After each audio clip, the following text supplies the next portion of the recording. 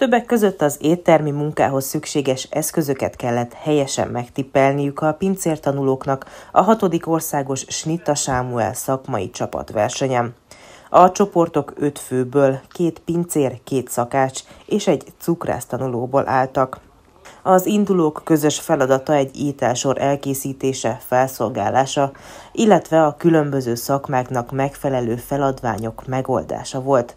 A kétnapos döntőnek a Szexádi Vendéglátóipari Iskola adott otthont. Nagyon örültünk a felkérésnek, és nagyon nagy feladatnak is tartjuk, hiszen hét régióból vártuk a csapatokat, a döntőbe jutott csapatokat, országszerte jönnek a tanulók, illetve egy határon túli csapatunk is van, úgyhogy mondhatjuk nemzetközinek is akár ezt a versenyt.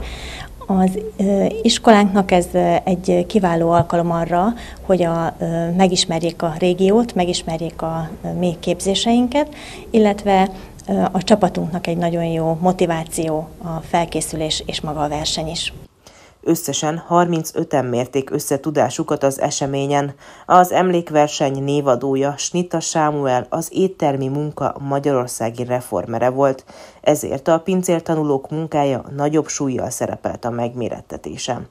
Tulajdonképpen a jobbító szándékkal a tanuló ifjúságnak a segítése, tehát minden olyan segítséget megadunk nekik, ami a, a, a oktatásban, ami szerepel, azon kívül is minden olyan lehetőséget megkapjanak, ami tovább viszi az érdeklődési körüket. A zsűri között egyébként világ és olimpiai bajnok szakemberek, mesterszakácsok is szerepeltek.